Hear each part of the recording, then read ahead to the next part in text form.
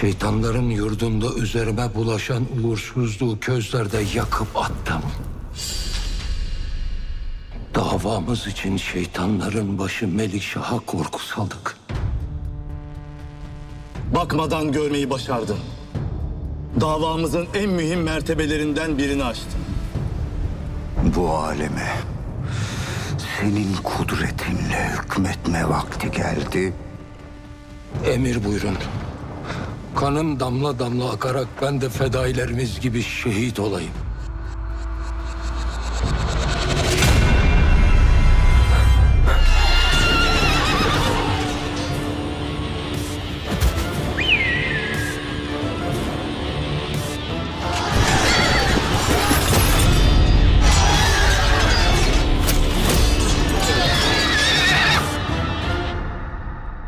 Selçuklu yerle yeksan olacak.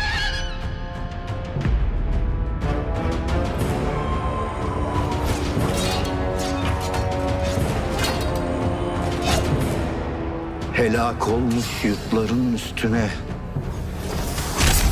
Fatimi'nin şanlı sancağı yükselecek.